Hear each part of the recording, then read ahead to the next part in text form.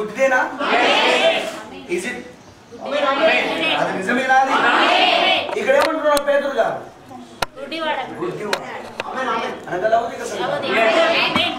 దూరదృష్టి లేనివాడు.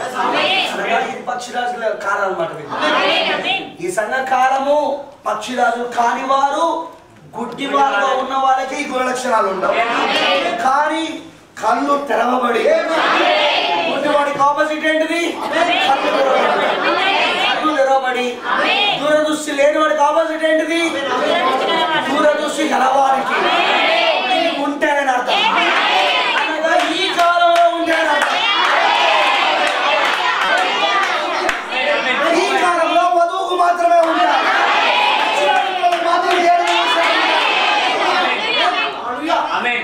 నేను గమనించింది ఏంటంటే ఈ మెసేజ్లో ప్రాఫిట్ గారు ఏం చెప్పడానికి ప్రయత్నిస్తారు? నేను ఎప్పుడు అక్షరాలు చదవను. నేను భావాన్ని చదువుతా. అక్షరం చదవను నేను. దాని వెనకాల ప్రాఫిట్ భావం ఏంటి అసలు? అది only holy spirit can reveal it.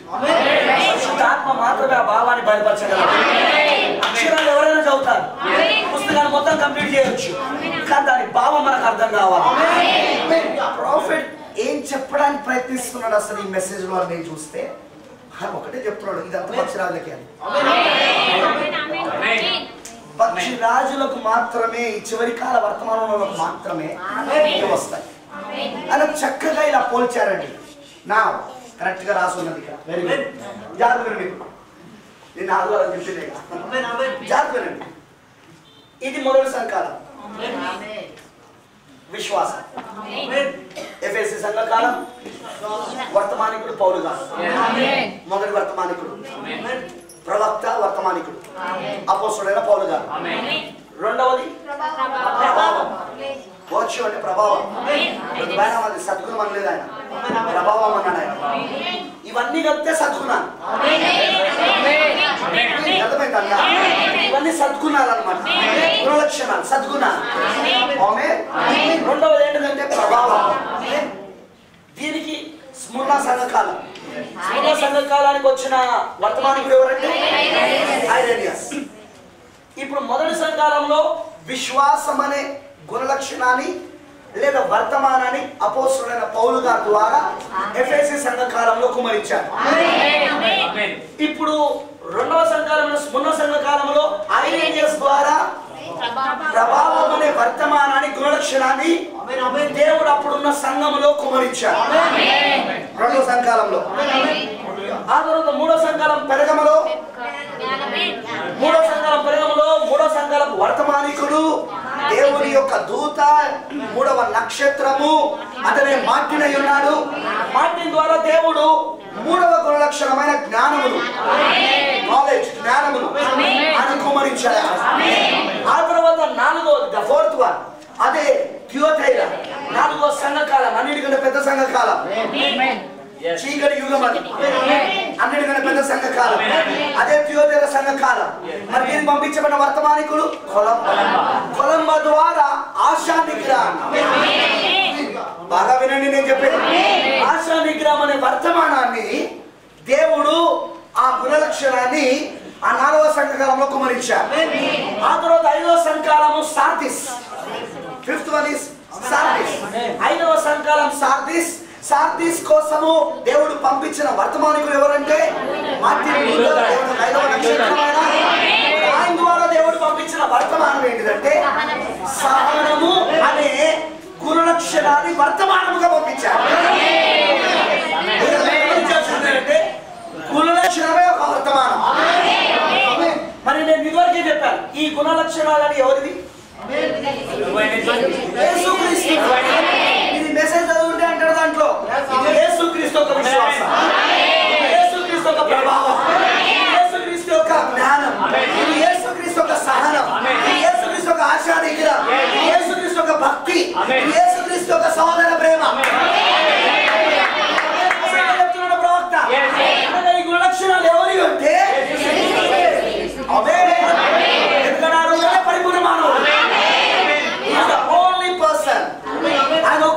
పరిపూర్ణ మానవుడు ఆయన.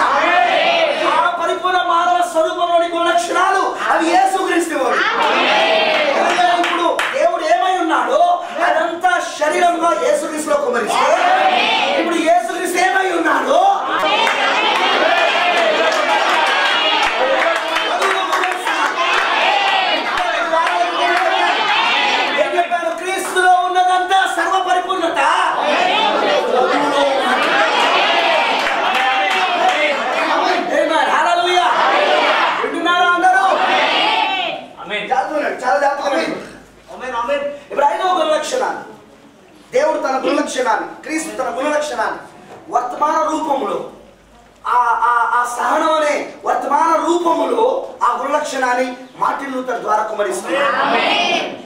దట్ తర్వాత ఆరో సంఘకాలం పిలదెల్ల సంఘకాలం దానికి దేవుడు పంపించిన ఆరవ నక్షత్రం వర్తమానికుడు. అతనే- అతనే జాన్ వెస్లీ.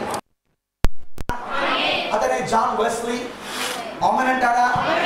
అర్థమైన వాళ్ళందరూ చెప్పండి అతనే జాన్ వెస్లీ. ఓకే? మరి జాన్ వెస్లీ ద్వారా దేవుడు ఆరవ గుణలక్షణం దైవ భక్తి అనే గుణలక్షణాన్ని దేవుడు పంపించాడు. అలా వెళ్ళు అలా వెళ్ళు. ఆమెనంటారా? కుమ్మరించాడు ఆరవ ఆరవ గుణలక్షణాన్ని. ఆ తర్వాత ఏడవ గుణలక్షణం ద సెవెంత్ వన్ ఏడవ గుణలక్షణం. అదే సహోదర ప్రేమ. బ్రదర్లీ కైండ్నెస్ సహోదర ప్రేమ. మరి ఏడవ సంకాలం లవధిక సంఘకాలములో ఏడవ నక్షత్రము విలియం బ్రెన్హామ్ ద్వారా ఆ సహోదర ప్రేమ గుణలక్షణాన్ని పంపించాడు ఆయన. మరి వీటన్నిటినీ మూత వేస్తూ వస్తున్నది ఏంటిదంటే తలరాయి. సీలింగ్ ఈస్ గోయింగ్ ఆన్ ముద్ర వేయబడుతున్నది. నేను వర్తమానంలో ఆల్రెడీ చెప్పాను పరిశుద్ధ ఆత్మతో నింపబడుట వేరు పరిశుద్ధ ఆత్మతో ముద్ర వేయబడుట వేరు. గుర్తుందా మీకు నేను చెప్పింది? మెసేజ్లో ఆల్రెడీ చెప్పాను నేను. ఒక వ్యక్తి పరిశుద్ధ ఆత్మతో నింపబడిన వెంటనే దేవుడు ముద్ర వేయడు. అతన్ని దేవుడు టీచర్ దగ్గర పెడతాడు. హోలీ గోస్ట్ గుర్తుందా మీకు? దత్తపుత్రత్వం గురించి చెప్పాను నేను. పుత్ర స్వీకారం గురించి. ఇప్పుడు ఇప్పుడు సొంత కుమారుణ్ణే అతను పుత్ర స్వీకారం చేసుకుంటాడు. ఆ పుత్ర స్వీకారం చేయడమే ముద్ర అయి ఉన్నది. మరి మనము ముద్ర పడుతున్న కాలంలో ఉన్నామా? మూడవ దూత వర్తమానం అది. ప్రకటన పద్నాలుగులో మూడవ దూత వర్తమానం అది. ఏం జరుగుతున్నది? పరిశుద్ధ ఆత్మ ఇప్పుడు ముద్రిస్తున్నాడు. దేవుని ముద్ర ముద్రించబడుతున్నది. అదే సమయంలో మృగం యొక్క ముద్ర కూడా ముద్రించబడుతున్నది. ఈ రెండు ముద్రలు నడుస్తున్న కాలంలో ఉన్నామా?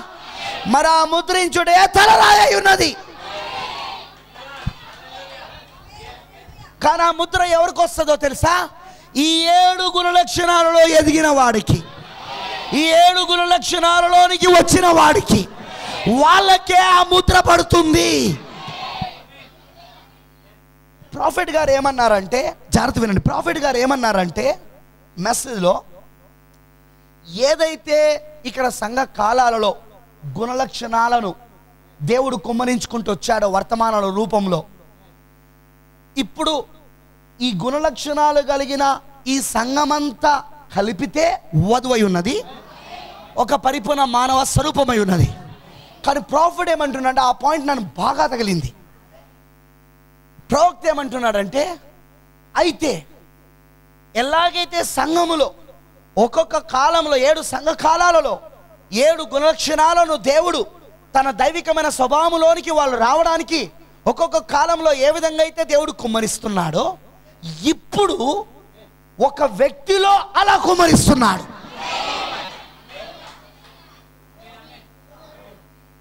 పాయింట్ ఇది పట్టుకోవాలి. బాగా వినండి. యాక్చువల్గా ఏడు గుణలక్షణాలు ఏడు సంఘ కాలాలలో కుమ్మరించబడినవి. మొదటి గుణలక్షణం విశ్వాసం. రెండవది సద్గుణం మూడవది జ్ఞానము. ఆ రెండవది ప్రభావం మూడవది జ్ఞానం నాలుగవది ఆశానిగ్రహం ఐదవది సహనం ఆరవది దైవభక్తి ఏడవది సహోదర ప్రేమ. ఓకేనా? ఆ ఏడు గుణలక్షణాలు రెండు వేల సంవత్సరాల నుండి ఏడు సంఘ కాలాలలో దేవుడు కుమరించుకుంటూ వచ్చాడు. ఇప్పుడు ఒక సంఘం పరిపూర్ణత చెందడానికి ఒక సంఘం ఒక పరిపూర్ణమైన స్వరూపంలోనికి రావడానికి ఈ రెండు వేల సంవత్సరాలలో దేవుడి గుణలక్షణాలు ఒక్కొక్క కాలములో ఒక్కొక్క గుణలక్షణాన్ని కుమరించుకుంటూ వచ్చాడు. ఓకే అందులో ఏ డౌట్ లేదు. కానీ ప్రవక్త అంటున్నాడు ఇప్పుడు వ్యక్తిగతముగా ఒక వ్యక్తికి ఇప్పుడు వధువులో సభ్యులు వ్యక్తిగతముగా ఒక వ్యక్తికి దేవుడు ఏడుగురు లక్షణాలు కుమరిస్తా ఉన్నాడు. ఫర్ ఎగ్జాంపుల్ ఇప్పుడు మీకు అర్థమయ్యేటట్టు చెప్తాను. పౌలు గారు ఉన్నారు. ఆయన చెప్పిన వర్తమానం విశ్వాసం. అప్పుడున్న వాళ్ళకి కేవలం విశ్వాసమే ఉంది. అఫ్కోర్స్ ప్రభావం ఇవి ఉంటాయి జ్ఞానం ఇవి ఉంటాయి కానీ దేవుడు ముఖ్యంగా ఇచ్చింది ఏంటిది అంటే విశ్వాసాన్ని ఇచ్చాడు ఆ సమయంలో. అవునంటారా? అర్థమైన వాళ్ళు ఉందా? రామ చెప్పండి.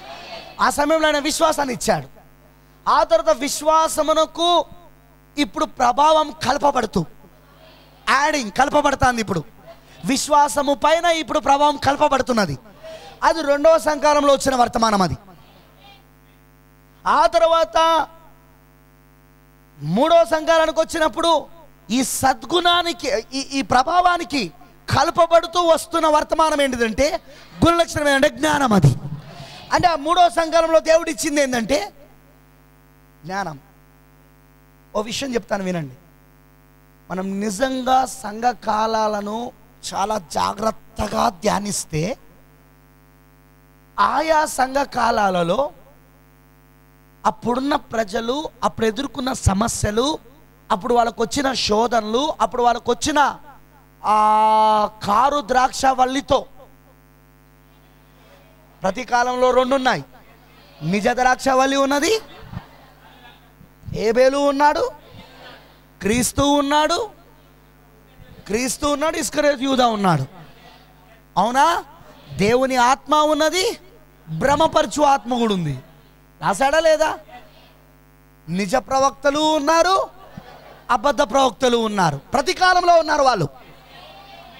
నిజ ద్రాక్షవల్లి ఉన్నది గోధుమ ఉన్నది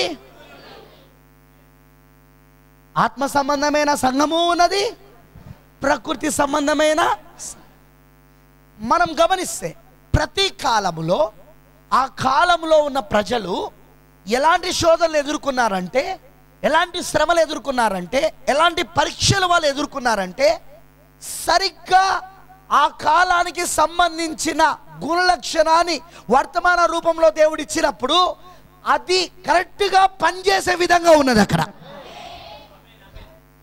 నీకు తలనొప్పి లేస్తుందని చెప్పేసి జ్వరం టాబ్లెట్ వేసుకో. అది కూడా ట్యాబ్లెటే జ్వరం టాబ్లెట్ కూడా. అనాసిన్ టాబ్లెట్ అది తలనొప్పి బ్రాండ్. పారాసిటమాల్ జ్వరం టాబ్లెట్. కానీ ఇప్పుడు నీకు వస్తున్నది తలనొప్పి జ్వరం కాదు. సో నువ్వేం వేసుకుంటావంటే పారాసిటమాల్ వేసుకో నువ్వు అనాసిన్ వేసుకుంటావు. అర్థమైందా దేవుడు కూడా ఏం చేశాడంటే సరిగ్గా ఆ కాలము ఆ కాల ప్రజలకు క్రీస్తు విరోధి ద్వారా ఏ శోధన అయితే వస్తుందో. నాలుగు గుర్రాలు గుర్తున్నాయి కదా? మొదటి గుర్రం.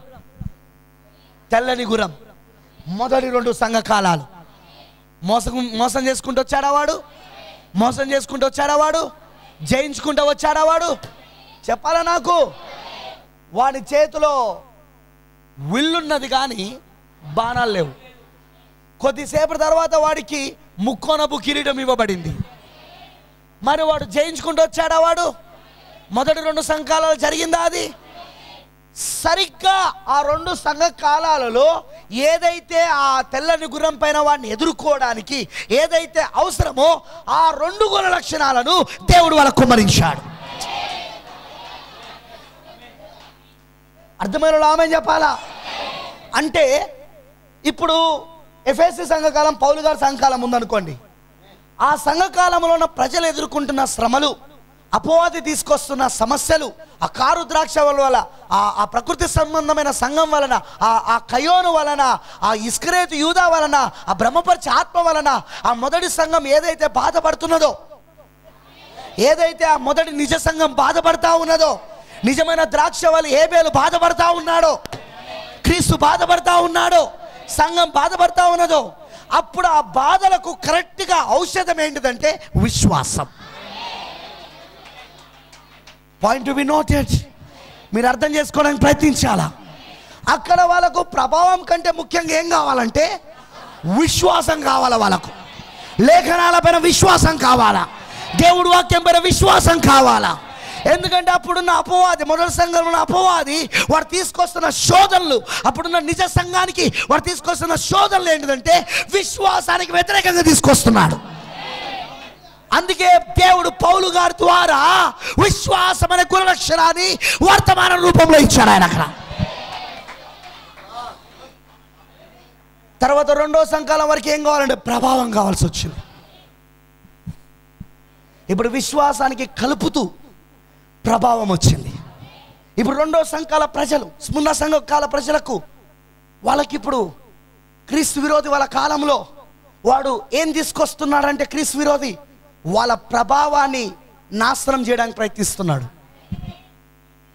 సంఘమును ప్రభావం లేకుండా చేసేస్తున్నాడు. ఆది అపోస్తులు ఉన్నంతసేపే సంఘం ప్రభావంతంగా ఉండే. సంఘకాలాలు గుర్తున్నాయి నేను చెప్పింది? ఆది అపోస్తులు ఉన్నంతసేపే సంఘం చాలా ప్రభావితంగా ఉండే ప్రభావంతో ఉండే. కానీ ఆది అపోస్తులు అయిపోయిన తర్వాత సాతనుడు ఏం చేయడం మొదలుపెట్టాడు ఇక? సంఘములోని ప్రభావాన్ని తీసేయడం మొదలుపెట్టాడు. అందుకే అప్పుడు ఐరన్యస్ పౌలు గారి యొక్క విశ్వాసి పౌలు గారి యొక్క పౌలు గారి దగ్గర ఆయన నే- ఆయన ఆయన ఆయన శిష్యుడిగా ఉన్న ఆయన ఇప్పుడు ప్రభావం అనే వర్తమానంతో బయలుదేరాడు. ఏయ్ మ్యాన్ హాళలుయా తర్వాత మూడో సంఘకాలం పెరగమ సంఘకాలం. అప్పుడు సాతానుడు తెలివిగా నైశ్యాసపం తీసుకొచ్చాడు. ఇప్పుడు కావాల్సింది జ్ఞానం. దేవుడి జ్ఞానం కావాలా? రోమన్ క్యాథలిక్తో నిలబడాలా? దానికి వ్యతిరేకంగా నిలబడాలా అని? వా వా వా వా వా వా వా వా మీకు అర్థం అవ్వాల? నేను చెప్తాను కదా సంఘకాలకు పోయినప్పుడు ఇవన్నీ చూద్దాం. మళ్ళీ ఈ టాపిక్ మీద సంఘకాలం మాట్లాడతాను నేను. ఈ టాపిక్ మీదనే. అందుకు మీరు ఏం చేయాలంటే నేను ఆల్రెడీ చెప్పిన సంఘకాలాలు వినుండాలి. ప్రాక్త చెప్పింది చదువు ఉండాలి మీరు. వింటున్నారా? అప్పుడు నేను ఇవన్నీ చెప్తే మీకు అర్థమవుతుంది. ఏం జరుగుకుంటూ వచ్చింది రెండు వేల సంవత్సరాలు అని? దేవుడు కూడా చూడు ఎంత బాగా తన శరీరాన్ని కడుతున్నాడో. ఎంత బాగా తన బిల్డింగ్ని తన కట్టడాన్ని ఎంత బాగా కడుతున్నాడో చూడండి. అపవాదికి తగ్గట్టుగానే ఆయన తన గుణలక్షణాన్ని తన సంఘములోనికి కుమరిస్తున్నాడు ఇప్పుడు మూడో సంఘాల వాళ్ళకి ఏం కావాలంటే జ్ఞానం కావాలి వాళ్ళకు. విశ్వాసము విశ్వాసము పైన ప్రభావము ప్రభావం పైన ఇప్పుడు జ్ఞానం కావాలి ఇప్పుడు వాళ్ళకు. వింటున్నారా నేను చెప్పింది? ఇలా దేవుడు ఏ ఏ సంఘకాలలో క్రీస్తు విరోధి ఏదైతే తీసుకొచ్చాడో నిజ సంఘానికి వ్యతిరేకంగా నిజ ద్రాక్షవల్లికి గోధుమలకు వ్యతిరేకంగా క్రీస్తు విరోధి ఏమైతే తీసుకొచ్చాడో ఆ ఆ కారు ద్రాక్షవలి ఏదైతే తీసుకొచ్చిందో నిజ ద్రాక్షవలి పైకి దాన్ని ఎదుర్కోవడానికి తగిన గుణలక్షణాన్ని తగిన వర్తమానాన్ని దేవుడు ఆ కాలంలో కుమరించాడు.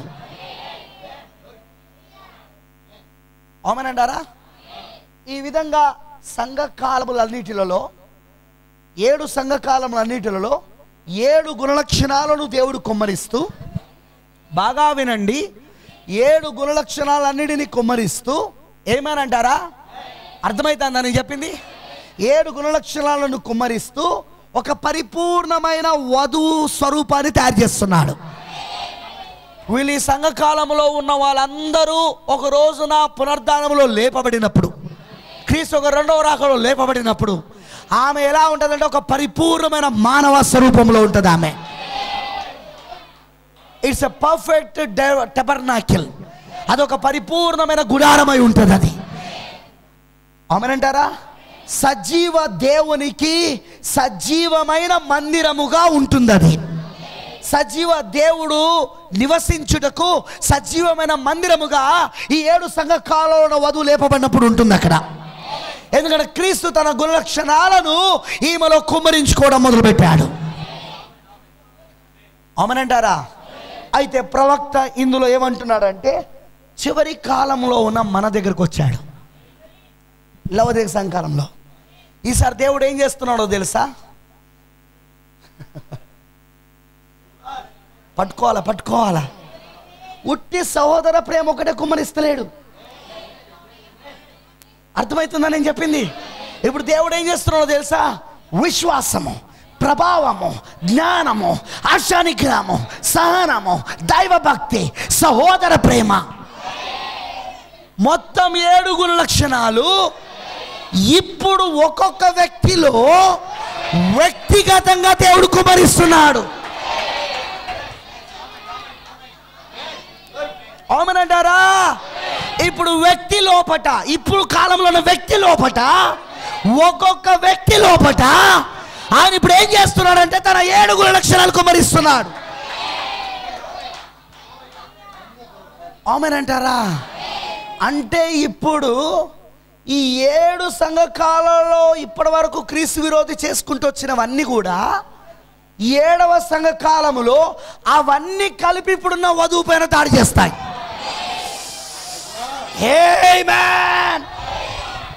మొదటిది తెల్లని గుర్రము. రెండవది నల్లని గుర్రము. మూడవది ఎరుపు గుర్రము. నాలుగవది ఏంటి చెప్పండి?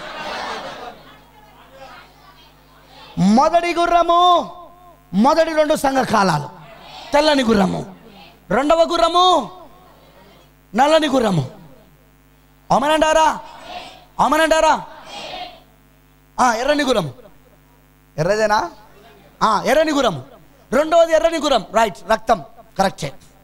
వాడు చంపేస్తాడుగా మూడు నాలుగు సంఘకాలలో ఉన్న వాళ్ళందరినీ. రైట్ రైట్ కరెక్టే ఎరుపు మూడు నాలుగు సంఘకాలాలు రైట్ ఐదు ఆరు సంఘకాలాలు నల్లది నాలుగవ మూడవది న- నలుపుది. ఈ మూడు రంగులు కలిపితే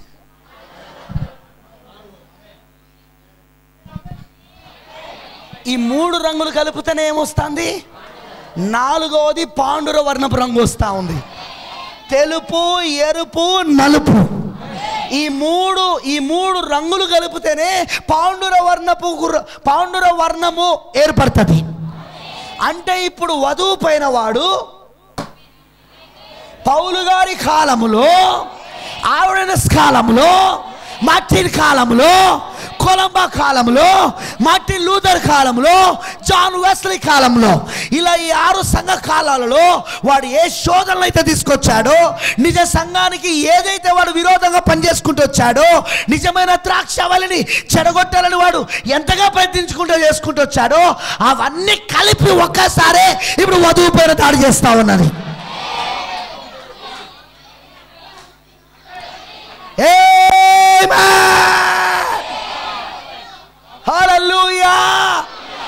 అందుకే ఇప్పుడు ఏడు గుణ లక్షణాలను వ్యక్తిగతంగా ఒక్కొక్కలకు లవదిగ సంఘ కాలంలో పక్షిరాజు పిల్లలకు వధువుకి వ్యక్తిగతంగా ఒక్కొక్కలకు కుమరించబడుతున్నది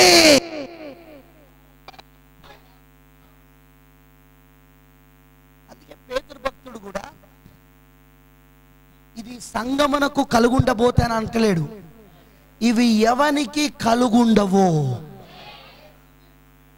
వ్యక్తిగతం గురించి మాట్లాడుతున్నాడు. ఇండివిజువల్ వ్యక్తిని గురించి మాట్లాడుతున్నాడు అక్కడ. ఇది ఎవనికి కలుగుండవు? అంటే ఇప్పుడు పేతురు భక్తుడు ఎవరి గురించి రాస్తున్నాడంటే ఇది? ఉట్టి సంఘకాలముల గురించి మాత్రమే రాస్తలేడు. ఏడవ సంఘ ఉన్న పక్షిరాజు పిల్లల కోసం రాస్తున్నాడు. ఏమాన్ హల్లెలూయా ఏడవ సంఘ కాలంలో ఉన్న పక్షి రాజుల కోసం రాస్తున్నాడు అక్కడ.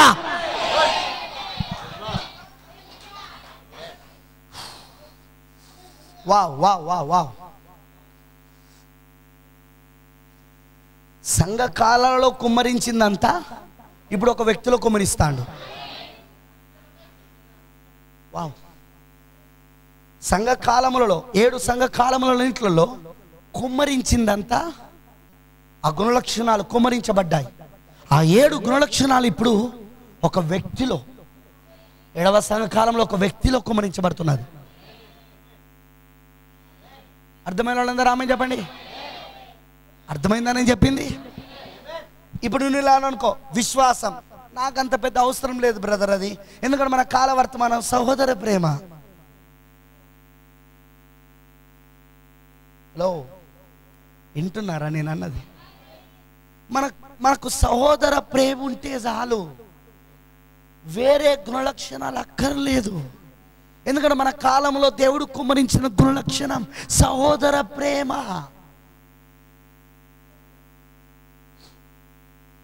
సహోదర ప్రేమ కానీ నేనంటాను అకార్డింగ్ టు ద ప్రాఫిట్స్ ప్రవక్త ప్రకారం అయితే ఇప్పుడు ఒక వ్యక్తికి వధువులో ఒక ఒక వ్యక్తిగా ఉండాలంటే ఒక భాగముగా ఉండాలంటే ఈ కాలంలో ముఖ్యముగా ఏడవ సంఘకాలంలో ముఖ్యముగా ఒక వ్యక్తికి దేవుడు కుమ్మరిస్తుంది ఏంటంటే ఉట్టి సహోదర ప్రేమ మాత్రమే కుమ్మరిస్తలేడు. ఆ మిగతా ఆరు గుణ లక్షణాలు కూడా విశ్వాసము ప్రభావము జ్ఞానము ఆశానిగ్రహం సహనము భక్తి ఈ ఆరు గుణ లక్షణాలు కూడా ఏడవ గుణలక్షణమైన సహోదర ప్రేమతో కుమరిస్తున్నాడు ఆయన.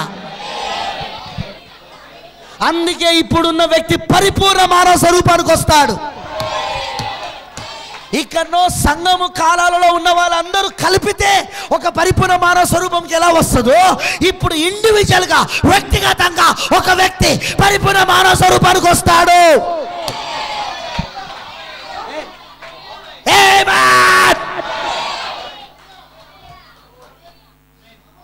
ఏడు సంఘ కాలాలు అన్నిటినీ కలిపితే పరిపూర్ణ మానవ స్వరూపం ఏర్పడుతుంది.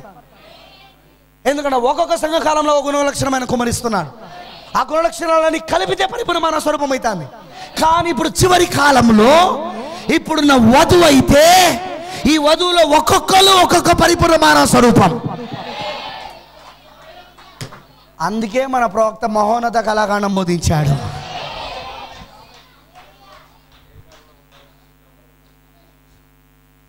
అందుకే పోయిన ఆధారం నేను చెప్పినట్టు. ఏ కాలంలో పుట్టాలని అనుకుంటున్నావు అంటే? పౌలు గారి కాలంలో కాదు. ఆయననేస్ కాలంలో కాదు. మార్టిన్ లూథర్ కాలంలో కాదు. వాళ్ళ కాలంలో కాదు. నేను ఈ కాలంలో పుట్టాలనుకున్నాడు ఆయన. ఎందుకంటే ఇప్పుడు ఇప్పుడు వధువు ఇప్పుడున్న వధువులోని సభ్యులు ఒక్కొక్కరు వ్యక్తిగతంగా మానవ పరిపూర్ణ మానవ స్వరూపంలోకి వస్తున్నారు.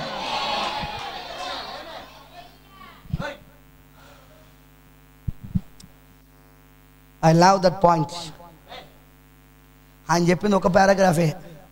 దాన్ని వివరించడానికి ఇంతసేపు పట్టింది నాకు. ఆ పాయింట్ ఒకటే పారాగ్రాఫ్లో చెప్పాడు. కానీ దాన్ని వివరించడానికి ఇంతసేపు. ఆ ఒక్క పారాగ్రాఫ్ని మనం సంఘకాలం మొత్తం వెళ్ళి పౌలు గారి కాలంలో ఎందుకు విశ్వాసం అవసరం వచ్చింది? అసలు వాడు తెల్లగుర్రముడు ఏం చేసిండు అసలు వాడు? అని సంఘకాలాలు రెండు సంఘకాలాలు చదివినాం అనుకో మొదటి రెండు అర్థమవుతుంది అప్పుడు. ఎందుకు అప్పుడు విశ్వాసము సద్గుణం ఎందుకు కావాల్సి వచ్చిందో? విశ్వాసం ప్రభావం. ఆమెనంటారా? అలా మనం వివరించుకుని పోయినాం అనుకో. Wow wow wow wow. సుదీర్ఘమైన బైబిల్ స్టడీ కానీ అద్భుతమైన విషయాలు. ఈరోజు వధువు పైన వాడు ఇన్ని రోజులు రెండు వేల సంవత్సరాల నుండి వాడు ఎలా వాడు దాడి చేసుకుంటూ వస్తున్నాడు. తెల్ల గుర్రము పైన ఎరుపు గుర్రము పైన నల్ల గుర్రము పైన వాడు దాడి చేసుకుంటూ వస్తున్నాడో ఆరు సంఘ కాలాలలో అదంతా కలుపుకొని వాడు ఇప్పుడు ఏడవ సంఘకాలములో వధువు పైన దాడి చేస్తున్నాడు వాడు. అందుకే దేవుడు కూడా అందుకే దేవుడు కూడా పట్టుకుంటున్నారా మీరు? అందుకే దేవుడు కూడా అన్ని సంఘకాలలో ఉన్న గుణ లక్షణాలను వ్యక్తిగతంగా ఒక వ్యక్తిలో బహుమరిస్తున్నాడు. అబ్బబ్బబ్బబ్బబ్బబ్బబ్బా. హల్లెలూయా. అర్థమైందని చెప్పింది? అన్ని సంఘకాలను గుణ లక్షణాలు ఆ ఏడు గుణ లక్షణాలను దేవుడు ఇప్పుడు ఒక వ్యక్తి లోపలికి కుమరిస్తున్నాడు ఆయన.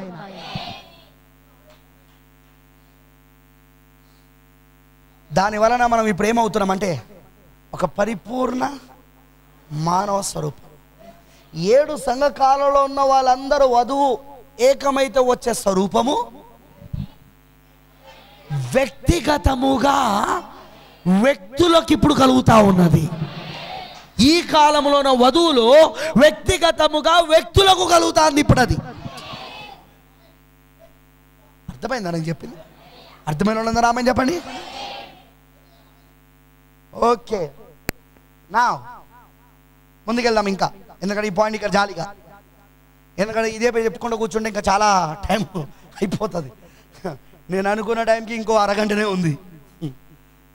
జాగ్రత్త వినండి. అసలు మొదలే కాలే ఇంకా. అసలు గుణ లక్షణాలే మొదలు పెట్టలే. ఇవి ఎందుకు అవసరమో చెప్తానా? ఏడు గుణ లక్షణాలు ఎందుకు అవసరమో అర్థమైంది అందరికీ? ఇవి లేకుండా నువ్వు నిలబడగలవా? పేతురు రాసిన పత్రిక ప్రకారముగా ఇవి ఎవరికైతే లేకపోవునో వాడు గుడ్డివాడును దురదృష్టి లేనివాడు అవుతాడు వాడు త్రొత్తిలుతాడు వాడు. అనగా పడిపోతాడు. చిన్న చిన్న శోధనలకే పడిపోతాడు. చిన్న చిన్న శ్రమలకు కష్టాలకే పడిపోతాడు. వింటున్నారా? ఆరు సంఘ కాలాలలో ఏదైతే వధువు శోధనలు ఎదుర్కొన్నదో ఇప్పుడు ఏడవ సంకాలంలోన వధువు ఎదుర్కొంటాంది. వాళ్ళందరూ ఇప్పుడు వధువు దగ్గర జరుగుతుంది. ఏడవ సంకాలంలో వధువు దగ్గర. పాయింట్ అర్థమైందా నేను అందుకే ఒక వ్యక్తి ఈ చివరి దినాలలో ఈ చివరి దినాలలో క్రీస్తు కొరకు నిలబడాలంటే అతనికి ఖచ్చితంగా ఈ ఏడు గుణలక్షణాలు ఉండాల్సిందే. ఈ ఏడు గుణలక్షణాలు లేనివాడు వాడు గుడ్డివాడు దురదృష్టి లేనివాడు వాడు త్రొట్టిల్లి పడిపోతూనే ఉంటాడు వాడు. వాడు ఈజీగా తొట్టిల్లుతాడు. నిలబడలేరు వాళ్ళు. అందుకే ఇంత తక్కువ సంఖ్య ఉన్నదన్నాడు ప్రవక్త. చెప్తూ చెప్తూ చెప్తూ ఓ పాయింట్ వదులుతాడు మెసేజ్లో అందుకే ఇప్పుడు ఇంత తక్కువ సంఖ్య ఉన్నదంటాడు. ఆ ఉద్దేశం ఏంటో తెలుసా? ఇక్కడ చాలా మంది పరిపూర్ణులు గారు కానీ ఎవరో కొందరు మాత్రమే వీటిని పొందుకుంటారంటున్నాడు. డైరెక్ట్ మెసేజ్లో అంటున్నాడు ఇక్కడ. అప్పుడు వెంటనే నా సంఘం కూడా గుర్తుకొచ్చింది. కరెక్ట్ చెప్పినావు ప్రభువా మా ప్రవక్తలో ఉండి.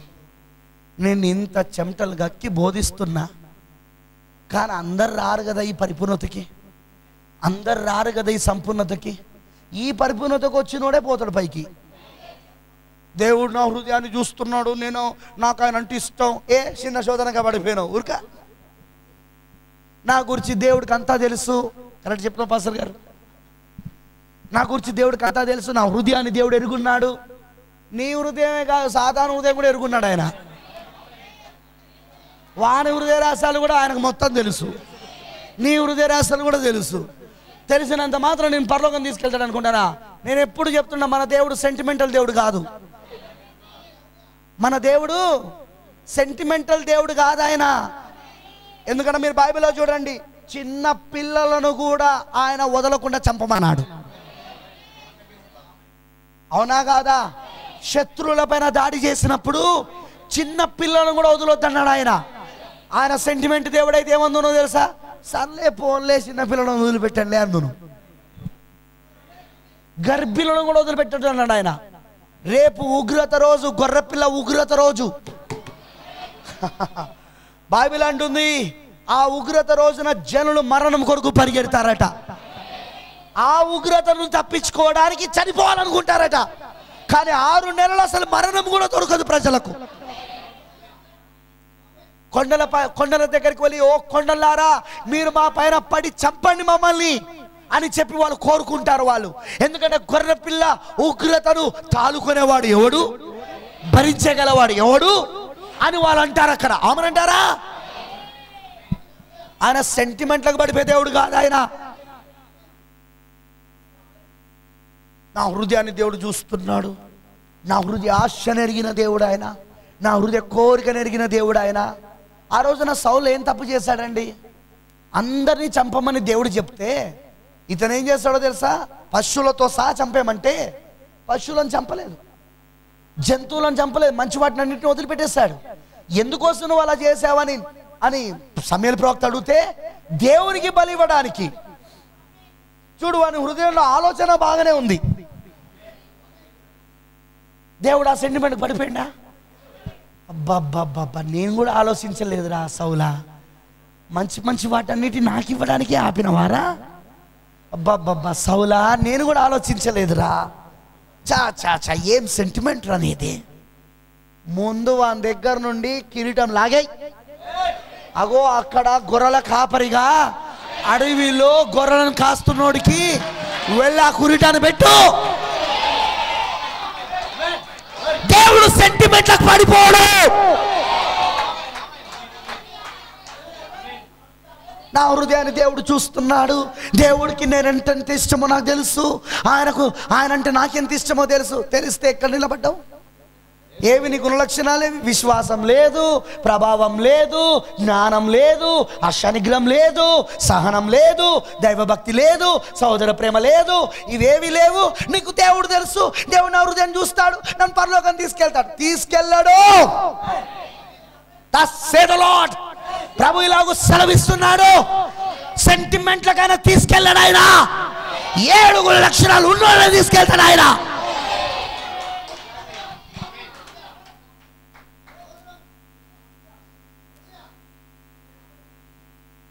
బైబిల్లో చాలా సంఘటనలు ఉన్నాయి సెంటిమెంట్ల సంఘటనలు.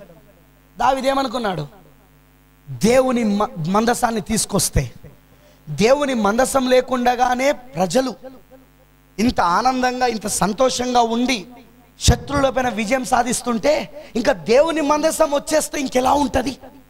ఎందుకంటే మనకు తెలుసుగా దేవుడు ఎక్కడుంటాడు? వాక్యం. వాక్యం ఎక్కడుంది? మందసం. సో దేవుడి మందసం ఎక్కడుంటే దేవుడు అక్కడ ఉంటాడు. ఎందుకంటే వాక్యం ఎక్కడుంటే దేవుడు అక్కడ ఉంటాడు. అవునంటారా ఇప్పుడు దేవుని మందసం లేకుండానే వాక్యం లేకుండానే మనకి ఇన్ని విజయాలు ఉంటే వాక్యం వస్తే ఇంకెలా ఉంటుంది అనుకున్నాడు దావిదు. అనుకొని అతని హృదయంలో ఉన్న ఆలోచన మంచిది. కానీ అతను ఎన్నుకున్న మార్గం తప్పు. ప్రవక్తలను సంప్రదించిన తరువాతనే ఏదైనా దేవుని కోసం చెయ్యాలి. ఆ కాలంలో ప్రవక్త నాతాను ఉన్నాడు అక్కడ. కానీ నా తనను సంప్రదించలేదు. మరి ఎవరిని సంప్రదించాడు? తన దగ్గరున్న సై తన దగ్గరున్న మంత్రులను వింటున్నారా? సైనాధిపతులను వాళ్ళందరినీ సమకూర్చి వాళ్ళతో తన ఆలోచనలు చెప్పాడు. వాళ్ళకేం తెలుస్తుంది దేవుని చిత్తం ఏంటో? వాళ్ళకేం తెలుస్తుంది దేవుడి ఆలోచన ఏంటో? దావిది ఆలోచన మంచిదైనా? దేవుడి ఆలోచన ఎలా తెలుస్తుంది అది? అమనంటారా? అమనంటారా? అప్పుడు ఏం జరిగింది? వాట్ హ్యాపెన్ ఆ సమయంలో అతను వాళ్ళందరిని సంప్రదించినప్పుడు వాళ్ళందరూ రాజా నిజమే నువ్వు చెప్పింది. మందసం లేకుండానే మనం ఇన్ని విజయాలు సాధించినాం. ఇంకా మందసం మన దగ్గరకు వస్తే ఇంకేమైనా ఉందా? ఎందుకంటే అప్పటికే ఫిలిస్తీన్లు ఆ మందసం వలన చాలా శోధనలు ఎదుర్కొన్నారు. చాలా బాధలు ఎదుర్కొన్నారు. ఈ మందసం వద్దురా అని చెప్పి వాళ్ళే ఒక ఎడ్ల బండి పైన పెట్టి ఇజ్రాయెల్ యొక్క దేశానికి సరిహద్దులో తోలు పంపించారు. ఈ సంగతి ఎవరు తెలిసిందంటే దావిదుకు తెలిసింది. వచ్చింది మందసం అని దొంగలించుకొని వెళ్ళిన మందసాన్ని మళ్ళీ తిరిగి వాళ్ళే పంపించారని. దేవుడు ఆ విధంగా చేశాడని. గుర్తుందిగా దాగాను గుడిలో పెడితే ఏమైంది? తెల్లారి పూజారి వెళ్ళి చూస్తే దాని దాని బొమ్మ ముందు ఆ దాగోను బొమ్మ ము ఆ- ఆ మందసం ముందు బోర్రబడ్డది. మొండం విరిగి చేతులు విరిగి కాళ్ళు విరిగి ఉన్నది అక్కడ. వాళ్ళు అనుకున్నారు అరో ఈ ఇజ్రాయల్ దేవుడు మామూలు దేవుడు కాదురా. మన దేవుని ముక్కలు ముక్కలు చేసేసాడు ఇక్కడ ఉంటే చాలా డేంజర్ అని పంపించేశారు. అవమనంటారా? అలా మందసం ప్రయాణం చేసుకుంటా లాస్ట్కి ఇజ్రాయెల్ దేశం ఒక సరిహద్దులోకి వచ్చింది. ఇప్పుడు దావిది ఆలోచన మంచిదే కానీ దేవుని సంప్రదించకుండా నువ్వు ఏది చేసినా అది ఎంత మంచి ఆలోచన అయినా అది దేవుని చిత్తానికి విరోధం అన్నాడు ప్రవక్త. ఇక్కడ ఆలోచన మంచిదా చెడ్డదా కాదు. ఇక్కడ ఆలోచన దేవునికి ఇష్టమా కాదా అనేది. దేవుని చిత్తమా కాదా అనేది. మంచి ఆలోచనలన్నీ దేవుడి చిత్తం కాదు. కొందరంటారు అరే డినామినేషన్స్ ఏం చేస్తానులే? ఊరు ఊరికి వెళ్ళి సువార్త చేస్తాను. అది మంచి ఆలోచన కాదా? దేవుని చిత్తం కాదు అది. ఆలోచన మంచిది కానీ దేవుని చిత్తం కాదు అది. అరే సంఘశాఖలు ఏం చేస్తున్నారయ్యా? పెద్ద పెద్ద కూటాలు పెడుతున్నారు వాళ్ళు. వాళ్ళు వాళ్ళు స్వ వాళ్ళు సువార్త ప్రకటిస్తున్నారు. వాళ్ళు వాళ్ళు వాళ్ళు ఆ టీవీలలో ప్రసంగాలు చేస్తూ అనేక మందికి ప్రజలకు తెలవాలని యేసు గురించి కూర్చుకు చెప్తున్నారు. వాళ్ళు వాళ్ళు చర్చిలు కడుతున్నారు. ఊరూర్ల చర్చిలు కడుతున్నారు. అది మంచి ఆలోచన కాదా? ఆలోచన మంచిది కానీ దేవుని చిత్తం కాదు. దేవుని చిత్తము కాదు. అరే ఆ బ్రదర్ ఏం చేస్తున్నాడా ఎంటే మెసేజ్లో నుండే కొంతమందిని పాడి తీసుకెళ్ళి పక్కనే పెడుతున్నాడు. మంచి ఆలోచన కాదా? ఆయన ద్వారా కొంతమంది వస్తారు కదా? అది దేవుడి చిత్తం కాదు. దాట్స్ నాట్ గాడ్స్ థాట్ అది దేవుడి ఆలోచన కాదది. అది దేవుడి చిత్తం కాదది. అక్కడ ఆల్రెడీ మెసేజ్ చేసినాక దాన్ని చీల్చి పక్కకు పెట్టడం అది దేవుడి చిత్తం కాదది. దానికి సపోర్ట్ చేసేవాడు దయ్యం పట్టిన వాడు. దాన్ని సపోర్ట్ చేసిన పాస్టర్లకు దురాత్మలు పట్టినాయి. వాళ్ళకు దేవుడి చిత్తం లేకుండా దేవుడికి ఒక సేవ చేయట్నుంచుటనే వర్తమానం ఏంటో వాళ్ళకు తెలియదు.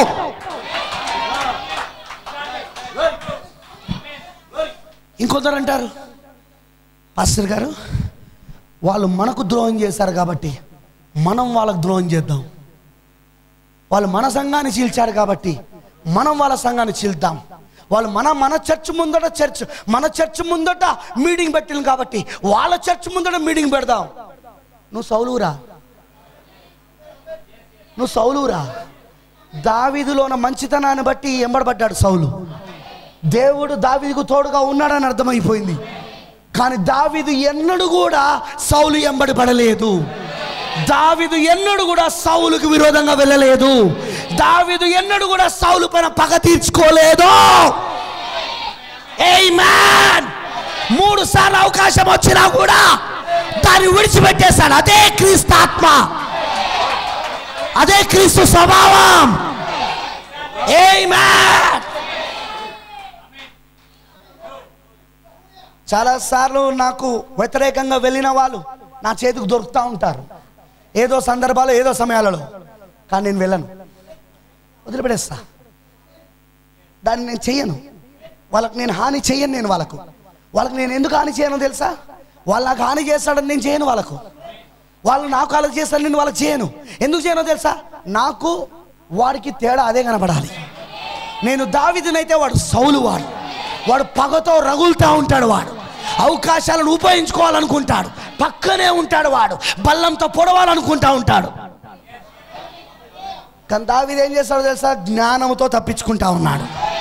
మనం కూడా అంతే జ్ఞానంతో తప్పించుకుంటా ఉంటాం. అంతేగాని అవకాశాల కోసం ఎదురు చూసి వాడిని విన్న అజ్జేయం మనం. అవునంటారా అదే ఈరోజు ఈ వర్తమానం అర్థం కానోళ్ళకు జరిగేది. సహోదర ప్రేమ దగ్గరకు వచ్చినప్పుడు చెప్తాను నేను ఆ విషయాన్ని. బ్రదబేరం సహోదర ప్రేమ మీద ఒక్కటే పాయింట్ చెప్పాడు. కానీ దానిలో ఎంత వర్తమానం ఉన్నదంటే వావ్! బైబిల్ అంతా తీసుకొచ్చి పెట్టచ్చు దాంట్లో. ఒకటే పారాగ్రాఫ్ ఆయన చెప్పింది సోదర ప్రేమ మీద. ఫ్రెండ్స్ స్నేహితులారా ఇది పగ తీర్చుకునే సమయాలు కావు ఇవి. ఒకరికొకరు వ్యతిరేకంగా పోయే సమయం కాదు ఇది. నేను ఇక్కడ ప్రసంగం చేస్తున్నానంటే నేను చాలాసార్లు చెప్పిన నేను మనుషులను దృష్టిలో పెట్టుకోను. ఇంకెవరినో వ్యక్తిగతమైన కక్షలతో నేను చేయట్లేదు. ఒకవేళ అలా చేస్తుంటే నా ప్రసంగానికి తగ్గట్టుగా నేను వ్యక్తిగత కక్షలు తీర్చుకోవాలి అక్కడ నేను? అవకాశాలు దొరికితే తీర్చుకోవాలా?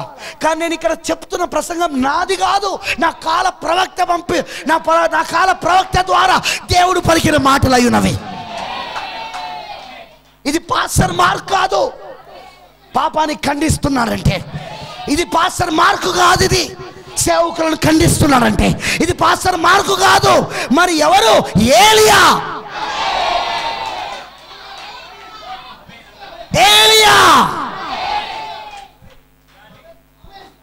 ఖండించడం బాధ్యత గనుక. సంఘ కాపరి గద్దించాలి. బుద్ధి చెప్పాలి. నీతి ఎందు శిక్షించాలి. ఖండించాలి. దైవావేశం వలన కలిగిన ప్రతి లేఖనాన్ని బోధించాలి. అవుమనంటారా? దాని ఆపే అధికారం ఎవడికి లేదు అక్కడ. అయితే చాలామంది నాకు ఎందుకు వాళ్ళు నాకు వ్యతిరేకం అవుతారంటే నేను చెప్పే బోధ. వాళ్ళ సంఘాలు నేను చీల్చలేదు. వాళ్ళ సంఘం పక్కన నేను సంఘం పెట్టలేదు. వాళ్ళ సంఘస్థులతో నేను వ్యక్తిగతమైన కాంటాక్ట్లు పెట్టుకోలేదు. వాళ్ళ పాస్టర్లు నేను ఎప్పుడూ చెడుగా చెప్పలేదు వాళ్ళ సంఘానికి. అయినా వాళ్ళకి నా పైన కోపం ఎందుకంటే కారణం ఏంటంటే నేను చెప్పే బోధ. ఏస్ అంటే ఎందుకు కోపం? శాస్త్రులకు పరిసలకు సదికేలకు. అని చెప్పే బోధ.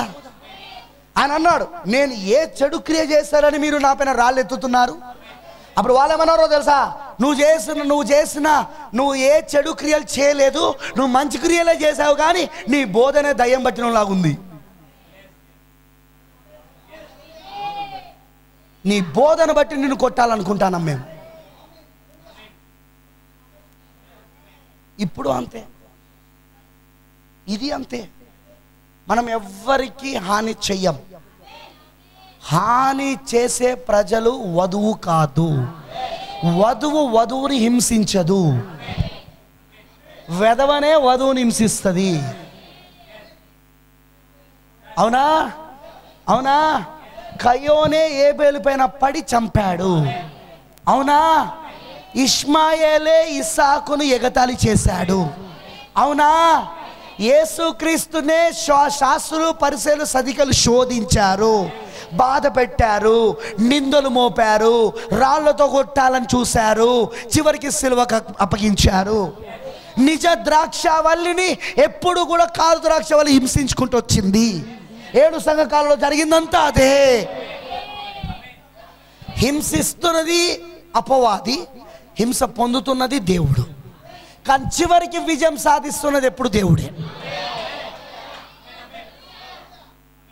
లాస్ట్ రిజల్ట్కి వచ్చేసరికి దేవుడే. అవునంటారా అర్థమైన వాళ్ళు ఉందా రామని చెప్పండి. ఫ్రెండ్స్ నా స్నేహితులారా నిజంగా ఈ రోజున మంచి గుణలక్షణాలు ఉండొచ్చు. మంచి స్వభావం ఉండొచ్చు. బావినండి మంచి స్వభావం మంచి గుణలక్షణాలు మంచి ఆలోచనలు ఉండొచ్చు. కానీ దేవుని చిత్తమా కాదన్నది తెలుసుకోవడం ముఖ్యం. మంచి ఆలోచనలన్నీ దేవుని చిత్తం కాదు. ఆ రోజు దావీదు ప్రవక్తను సంప్రదించకుండా తన దగ్గరున్న శాస్త్రాధిపతులను మంత్రులను తన దగ్గరున్న సైన్యాధిపతులను వాళ్ళను వీళ్ళను సం- సంప్రదించి వెళ్ళాడు. అందుకే మంచి ఆలోచన అయినా స్టెప్ రాంగ్. అడుగు తప్పు. అతను వేసిన అడుగు తప్పు. దానిని లేవీల భుజములపైన మోసుకొని రావాల్సిన ఆ ఆ మందసము కొత్త ఎడ్ల బండి పైన మోసుకొని రావాల్సి వచ్చింది. దాని వలన ఏం జరిగింది? ఒకరి గర్భం మూయబడింది. అవునా? ఒకరికి మరణం జరిగింది. అవునంటారా? ఒకరికి మరణం సంభవించింది. దాట్స్ ట్రూ మంచి ఆలోచనలన్నీ దేవుడి చిత్తం కాదు. మంచి ఆలోచన అయినా అది దేవుని దగ్గర అడగాల. దేవుని సంప్రదించాల. ఎందుకంటే మనకు కావాల్సింది మంచి ఆలోచనలు కాదు మనకు కావాల్సింది దేవుని ఆలోచనలు.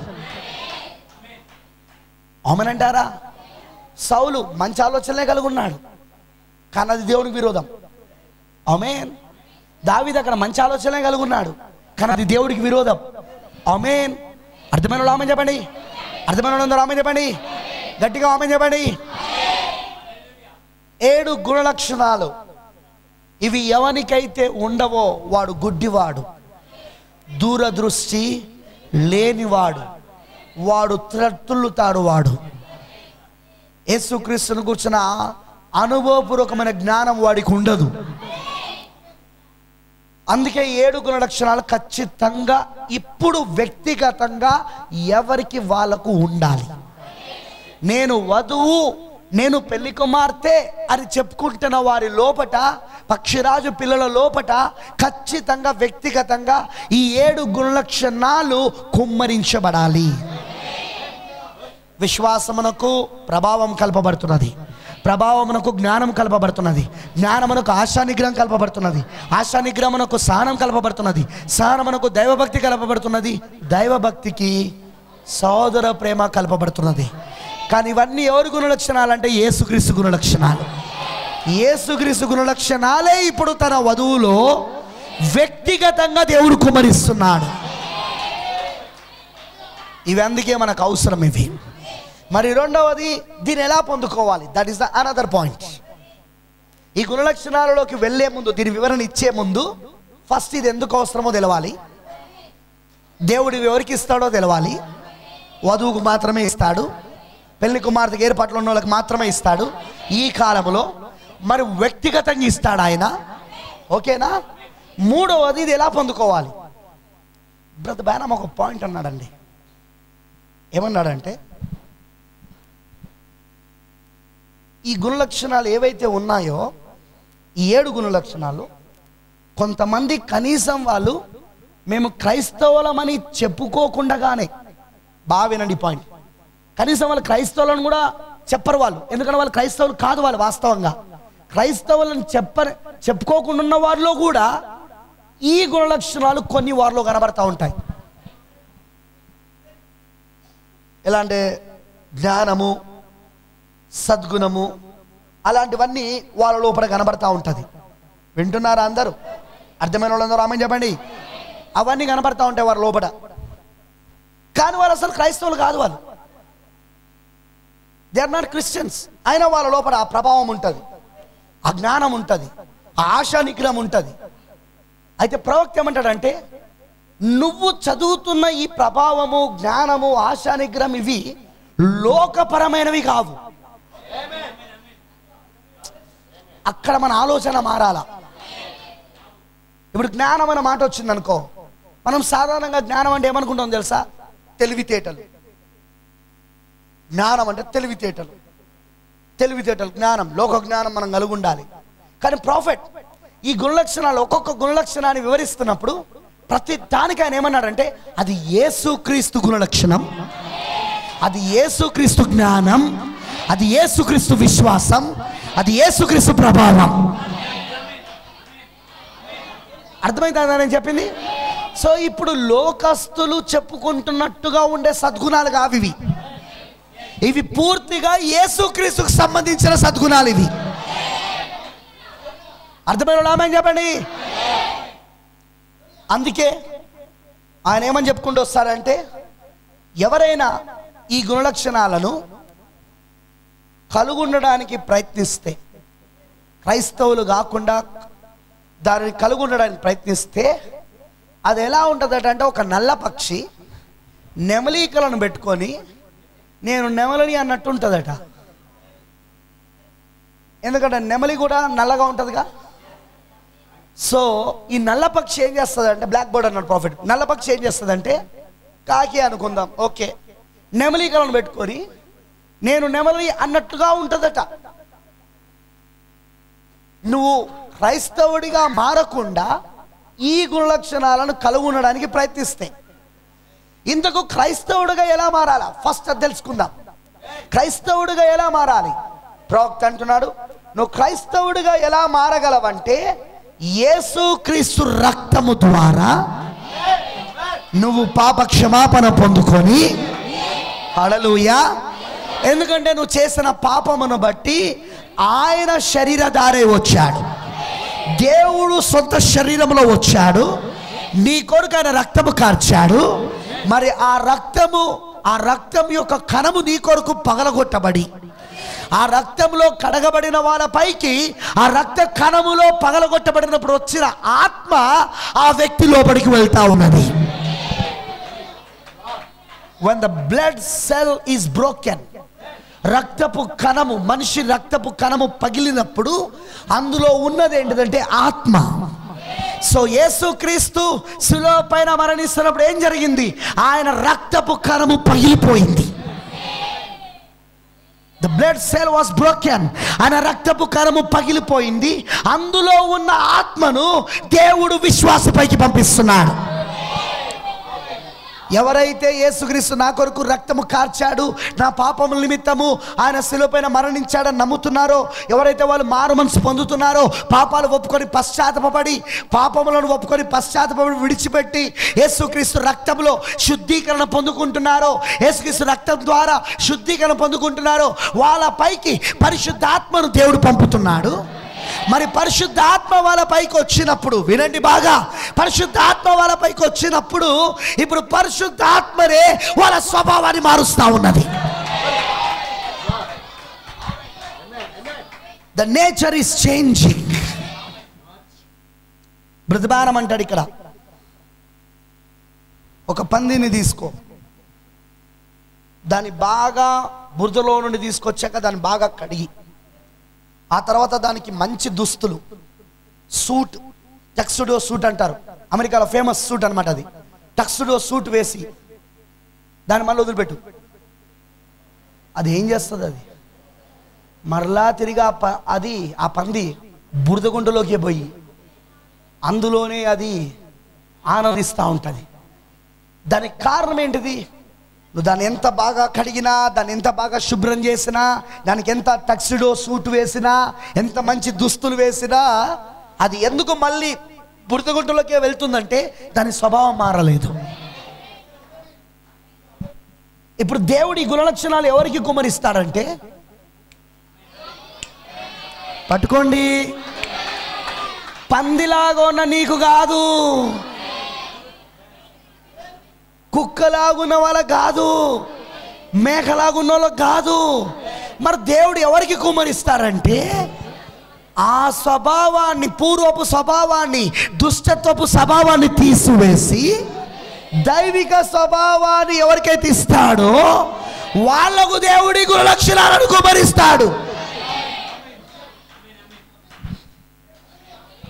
ఆమేన్ మరి దైవిక స్వభావం మనలోకి ఎలా రాగలదు బ్రదర్? అంటే ఈ లోకం యొక్క భ్రష్టత్వములను తప్పించుకొని దైవ స్వభావంలో ఎలా పాలుభాగస్తులు కాగలమంటే ఒకటే విధానం. అదే క్రొత్త జన్మ. తిరిగి జన్మించుట. పరిశుద్ధాత్మ బాప్తిస్మము. తొలకరి వర్షము. ఎందుకంటే పైన వచ్చేది కడవరి వర్షం. సీలింగ్ కడవరి వర్షం అది. కింద వస్తున్నదో తొలకరి వర్షం అది. పెంతకోస పండుగ రోజు వచ్చిన వర్షం అది. పెంతకోస పండుగ రోజు వచ్చిన పరిశుద్ధాత్మ బాప్సం అది. ఆమెనంటారా? ఒకవేళ ఇతను కొత్త జన్మ పొందుకోకుండా స్వభావం మారకుండా పంది పందిలాగానే ఉన్నది కుక్క కుక్కలాగానే ఉన్నది గాడిది గాడిదలాగానే ఉన్నది వెనుక తన ఉన్నది బాగా అలవాటు. మేక మేకలాగానే ఉంది. ఇక్కడ కొంచెం తింటది అక్కడ కొంచెం తింటది. ఏ సంఘంలో స్థిరంగా ఉండదు ఇది. ఇది మేక ఇది. వింటున్నారా? అర్థమైన రామని చెప్పండి. ఈ ఈ మేక ఇవి ఈ ఈ స్వభావాలు ఉన్నాయనుకో ఒకవేళ వారిలోనికి గుణలక్షణాలు కుమ్మరించడానికి ప్రయత్నిస్తే అది ఎలా ఉంటుందట అంటే వాళ్ళు ఈ గుణలక్షణాలు పొందుకోవడానికి ఏది దైవికమైన గుణలక్షణాలు? ఈ యేసుక్రీస్తు గుణలక్షణాలు విశ్వాసం ప్రభావం జ్ఞానం ఆశ నిగ్రహం సహనం దైవభక్తి సహోదర ప్రేమ.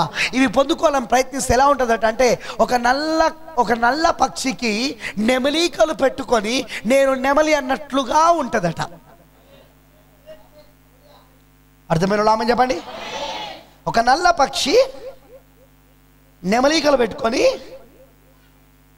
నేను నెమలి అన్నట్టుగా ఉంటుందట. కానీ దాని నెమలికలు ఎంతసేపు ఉంటాయి? ఆ? గట్టి గాలి రావుడితోటే ఈగలన్నీ ఊడిపోయి దీని అసలు రూపం బయటకు వస్తుంది. అలానే వీళ్ళ జీవితంలో గట్టిగా ఒక శోధన రావుడితోటే వీళ్ళ అసలు రూపాలు బయట పెడతారు. అప్పటిదాకా అబ్బా ఈమె లోపట సహనం ఉందండి. ఎంత సహనం కలిగిందో తెలుసా ఈమె? శోధన రావడంతో అసలు బయటికి వెళ్తుంది ఇప్పటిదాకా నటించింది. ఇప్పటిదాకా నటించాడు వీడు. నటనతో ఎన్నడూ నువ్వు దాన్ని పొందుకోలేవు. ఎన్నడూ నటించకు. నువ్వు ఏమైతే ఉన్నావో ఆ విధంగానే ఉండు.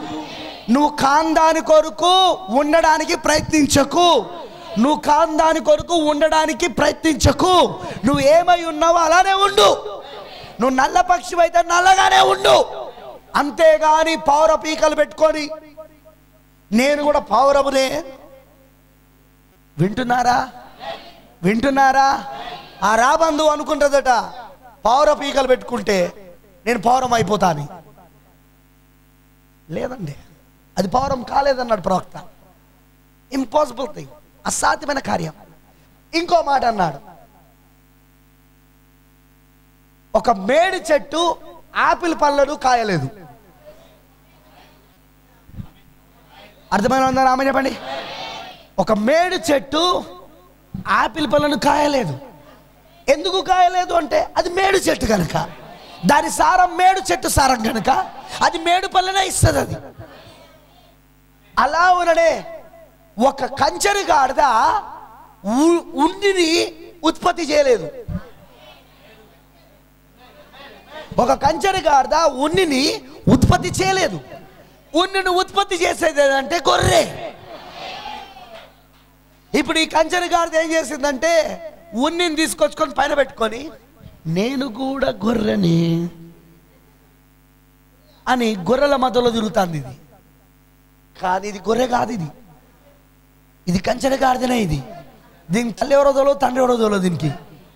ఎందుకంటే ఈ కంచెల గాడిద ఎలా పుట్టిందంటే గుర్రానికి గాడిదను కలిపితే పుట్టింది ఇది. క్రాస్ బ్రీడింగ్ వింటున్నారా? గుర్రము గాడిదకు. గుర్రం గుర్రంతోనే గాడిద గాడిదతోనే అవి అవి సంకరం చేయాలా? కానీ వీళ్ళేం సంకరం చేశారంటే గుర్రానికి గాడిదకు మధ్యలో సంకరం చేయడం వలన కంచెల గాడిద పుట్టింది. అందుకే దీనికి తల్లి ఎవరో తెలియదు తండ్రి ఎవరో తెలియదు అంతేకాదు ఇంకో దాన్ని ఉత్పత్తి చేయలేదు ఇది. కొద్దిసేపు ఇది గుర్రంలాగా పరిగెడుతుంది. కొద్దిసేపు ఇది గాడిదలాగా ఎక్కిలించుకుంటే వెనకదంతది వింటున్నారా? జాగ్రత్త వింటున్నారా? దీని ఎందుకు తయారు చేశారట అంటే బరువులు మోయడానికి. బాగా కష్టపడి బరువు మోయడానికి. ఎందుకంటే గాడిదకున్న గుణలక్షణం అది.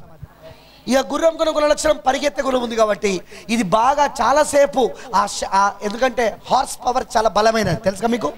మన ఇంజన్లు అన్నీ కూడా బైక్ ఇంజన్లు కానీ కార్ ఇంజన్లు కానీ లేకపోతే ఏ ఇంజన్ కానీ హార్స్ పవర్తో పోల్స్తారు. అర్థమవుతుందని అన్నది? హార్స్ పవర్ ఎందుకంటే ఆ గుర్రానికి శక్తి అలాంటిది అనమాట సో అందుకే ఈ రెండు కలిపితే ఒకటి ఒకటి కొత్త జంతువు తయారవుతుందని సైంటిస్టులు అనుకొని తయారు చేశారు. అందుకే ఇది బాగా బరువులు మోయగలదు బాగా పరిగెత్తగలదు. కానీ దీనికి ఉత్పత్తి చేసే శక్తి లేదు. దీని తల్లి ఎవరో దీని తండ్రి ఎవరో తెలియదు దీనికి. బ్రతబారం కొంతమంది సంఘములు అట్లనే ఉన్నారు. కొంతమంది మినిస్ట్రీలు అట్లనే ఉన్నారు. బాగా పనిచేస్తారు పాపం వీళ్ళు. కానీ వీనికి గాడిద ఎవరో వీనికి తల్లి ఎవరో తెలియదు తండ్రి ఎవరో తెలియదు దట్స్ ట్రూ నేను ఇప్పుడు ఆ టాపిక్ వెళ్ళాను. జాగ్రత్త ఇది ఎలా ఉన్నదట అంటే ఒక ఒక కంచెర గాడిద ఉన్నును ఉన్నిను ఉత్పత్తి చేయడానికి ప్రయత్నించినట్లుగా ఉన్నదట. స్వభావం మారకుండా పరిశుద్ధాత్మతో నింపబడకుండా స్వభావం మారకుండా దేవుని ఏడు గుణలక్షణాలను యేసుక్రీస్తు ఒక ఏడు గుణలక్షణాలను పొందుకోవాలని ప్రయత్నిస్తే అలా ఉంటుందంటున్నాడు. ఎందుకంటే ఒక ఒక గొర్రెకు ఉన్నిని ఉత్పత్తి చేయమని నువ్వు చెప్పాల్సిన అవసరం లేదు. అది ఉన్నిని దానికదే కలుగు ఉంటుంది అది అర్థమైన ఆమె చెప్పండి? ఉన్నిని అది కలుగు ఉంటుంది అది ఉత్పత్తి చేయడానికి ప్రయత్నించాను మనము గొర్రెకు చెప్పాల్సిన అవసరం లే ఉన్నిని తయారు చేయి. ఏ గొర్రె నువ్వు ఉన్నిని తయారు చేయి. అంటే నేను ఉన్నిని తయారు చేయడం ఏంది? నా స్వభావమే ఉన్ని రావడం నాలో నుండి. అలానే ఒక వ్యక్తి కొత్త జన్మ పొందుకుంటే పరిశుద్ధాత్మ చేత నింపబడి ఆ వ్యక్తి స్వభావం మారితే అతనేమి? నేను విశ్వాసంతో ఉంటా ఇప్పటి నుండి. ఇప్పటి నుండి ఇక ప్రభావంతో ఉంటా. ఇప్పటి నుండి నేను జ్ఞానముతో ఉంటా. సహోదర ప్రేమతో ఉంటా అని చెప్పుకోవాల్సిన అవసరం లేదు. ఉండడానికి ప్రయత్నించాల్సిన అవసరం లేదు. ఆ ఆత్మ ఫలాలు ఆ వ్యక్తి లోపట ఉత్పత్తి అవుతూనే ఉంటాయి అవి. ఆమెన్. ఆ పరిశుద్ధాత్మ ఆ వ్యక్తి లోపట ఈ దైవికమైన గుణ లక్షణాలను ఆ వ్యక్తి లోపట ఇస్తూనే ఉంటాడు ఆయన. ఇక ఇప్పటి నుండి నేను విశ్వాసంతో ఉంటా. ఇక ఈ రోజు నుండి వర్తమానం విన్నా కదా ఈ రోజు నుండి ఉంటా. అందుకే ఉండవు. ఎందుకంటే నువ్వు ఇంకా కంచరగార్ధవై ఉండి గొర్రె ఉన్నిని గొర్రె ఉన్నిని నేను ఉత్పత్తి చేస్తానని మాట్లాడుతున్నావు. నీ స్వభావమో కంచెరగాడిత స్వభావం. నువ్వు ఉన్నిని తయారు చేస్తానంటాను. ఎలా కుదురుతుంది? అలా నేను నేను ఇప్పటి నుండి విశ్వాసంలో ఉంటా. నేను ఇప్పటి నుండిగా సహోదర ప్రేమతో ఉంటా. ఉండలేవు. నేను ఇప్పటి నుండి జ్ఞానము కలుగుంటా అశానిగ్రహం కలుగుంటా ఇప్పటి నుండి నేను దైవ భక్తిని కలుగుంటా ఉండలేవు. నువ్వు ఉంటా అనుడుతుంటే అది ఉండడానికి అవేమి అదేం బయట నుండి వచ్చాయి కావు అవి. మీ లోపటి నుండి రావాలి అవి. నీ లోపటి నుండి దేవుడు దాన్ని ఎలా తీసుకొస్తాడంటే ఒక్క పరిశుద్ధ ఆత్మ ద్వారా తప్ప కొత్త జన్మ ద్వారా తప్ప ఇంకా వేరే మార్గము లేదు. నువ్వు కొత్త జన్మ పొందకుండా నీ స్వభావం మారడం జరగదు. మరియు కొత్త జన్మ ద్వారా మాత్రమే ఈ గుణలక్షణాలను దేవుడు నీకు కలుపుతూ ఉంటాడు. అవి నీలో నుండి తయారై వస్తూ ఉంటాయి. నీలో నుండి అవి ఉత్పత్తి అవుతూ ఉంటాయి. నువ్వు వాటిని స్పెషల్గా తయారు చేసుకోవాల్సిన అవసరం లేదు. అవి నువ్వు కలుగుంటావు వాటిని. యాపిల్ చెట్టుకు నువ్వు యాపిల్ పళ్ళు ఖాయమని చెప్పాల్సిన అవసరం లేదు. అవి యాపిల్ పళ్ళను ఫలిస్తే అవి. అలా నీలో కూడా ఆత్మ ఫలిస్తూ ఉంటుంది. విశ్వాసాన్ని ఫలమిస్తూ ఉంటుంది అది. ప్రభావం అనే ఫలాన్ని ఇస్తూ ఉంటుంది. ఆ పరిశుద్ధాత్ముడు నీకు ఆశ్చర్యకరమైన ఫలాన్ని ఇస్తూ ఉంటాడు ఆయన. నువ్వు అలా ఉండడానికి ప్రయత్నించాల్సిన అవసరత లేదండి. అవి నీలో ఉత్పత్తి అవుతూ ఉంటాయి. ఆటోమేటిక్గా యాదృచ్ఛికంగా అవి జరుగుతూనే ఉంటాయి. దానికోసం నువ్వు నేను ఇలా ఉండాలనుకుంటానా నేను అలా ఉండాలనుకుంటున్నా ఇప్పటి నుండి నేను ఇట్లుంటా అట్లుంటా. ఆ నిర్ణయాలు ఏవి నిలబడవు. ఓ రోజు రెండు రోజులు మూడు రోజులు వారం రోజులు ఎనిమిదో రోజు మళ్ళీ మామూలే. అదే పాత స్వభావం మళ్ళీ కనబడుతూనే ఉంటుంది. అదే పాత గుణలక్షణం మళ్ళీ కనబడుతూనే ఉంటాయి. ప్రతిపాదం అంటాడు.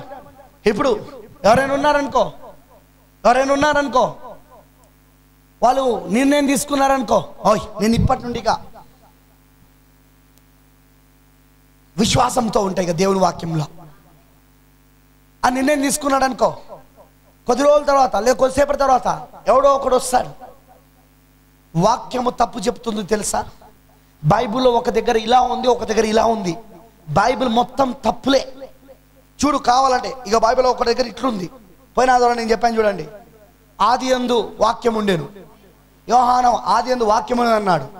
కానీ మోసేమన్నాడు ఆది అందు భూమి ఆకాశములను సృజించి. ఇప్పుడు ఆత్మ సంబంధమైన ప్రత్యక్షత లేనోడు ఈ రెండు మాటలు ముందు పెట్టి అసలు ఆది అందు వాక్యం అన్నదా? ఆది అందు భూమి ఆకాశాలు సూచించిండా ఏదో ఒకటి చెప్పండి అంటాడు వాడు. కానీ రెండింటిని కలపాలంటే ఆత్మీయమైన ప్రత్యక్షత కావాలా? ఆత్మీయమైన బయలుపాటు కావాలా? అమనంటారా పోయిన ద్వారా మనం చూసాం దాన్ని. అలా వాడు వచ్చి చూసావా మీ బైబిల్ అంతా తప్పుడు తప్పుడు అంత తప్పే. కావాలంటే చూడు యోన్ సోతో కూడా మొగడు వచ్చి ఆది అందు వాక్యం ఉన్నదని అంటున్నాడు. కానీ అదే మోసే ఆది కానీ మొగడో మొగడు వచ్చి ఆది అందు దేవుడు భూమి ఆకాశాలు సూచించాడు అంటున్నాడు. ఈ రెండిట్లో ఏది రైట్ అంటావు చెప్పు? అందుకే బైబిల్ అంతా ఒకదానికొకటి వ్యతిరేకంగా రాయబడి ఉంటుంది వీడు అనుకున్నాడుగా నేను ఇప్పటి నుండి వాక్యం పరి విశ్వాసం ఉంస్తానని వీడు చెప్పుడుతోడే కరెక్టే కదా? అవును కదా? సరిగ్గానే అవును కదా? బైబుల్ నిజంగానే అలా కనపడుతుంది కదా? ఏమైనవురా? ఈకలు ఊడిపోయినాయి. నెమలి కావు. నల్ల పక్షివే. ఈకలు ఊడిపోయినాయి. నువ్వు పావురం కాదు నువ్వు. నువ్వు అదే ఆ పాత ఆ పాత రాబందువి. ఇప్పటిదాకా నటించినావంతే. నేను పౌరాన్ని నేను పౌరాన్ని ఈ చూడు కావాలంటే మొత్తం తెల్లగా ఉంది చూడు కావాలంటే. నటించావు కానీ దాని అసలు స్వభావం బయటకు వచ్చింది ఇప్పుడు అర్థమైన ఆమె చెప్పండి? సేమ్ థింగ్ అనమాట బ్రతబనం అదే అంటాడు. ఒక వ్యక్తి ఈ గుణలక్షణాలను ఈ దైవికమైన గుణలక్షణాలను పొందుకోవాలంటే ఆ వ్యక్తి ఖచ్చితంగా తిరిగి జన్మించిన వాడై ఉండాలి. తొలకరి వర్షమును పొందుకునేవాడై ఉండాలి.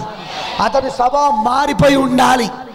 ఎందుకంటే పరిశుద్ధాత్మ వచ్చి ఏం చేస్తుందంటే ఆ పాత స్వభావాన్ని ఆ కుక్క స్వభావాన్ని ఆ పంది స్వభావాన్ని ఆ స్వభావం అంతా తీసివేసి దైవిక స్వభావాన్ని కుమరించడం మొదలు పెడతాడు.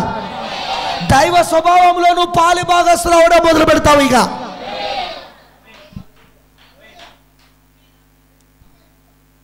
బ్రతిబానం అంటాడు.